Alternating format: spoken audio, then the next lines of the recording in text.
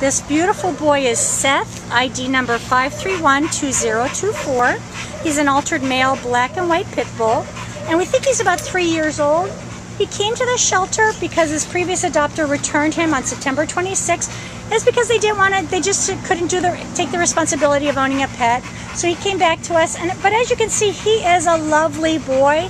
Definitely high energy and loves to go. How is he when you're walking him? Um, when I'm walking him, he tugs a little, but he's great on his leash. Okay. And was it easy to get him out of the kennel? Yes, very easy. He was so eager to come out. Oh, look, he's taking a rest. all right. So as you can see, he definitely he's definitely high energy. All right. So we want a family that likes to move and keep keep going. Somebody very active. He is good with other large dogs. So if you have another dog at home, Seth would make a great playmate for them. Um, he'd be best in a home where he's got some room to move around. And also, like I said, you want to make sure you're taking him out a couple times a day to go, go, go with him. He does, he is playful and loving. He would be a great partner for anybody. All right, and this is Seth, ID number 5312024. Do you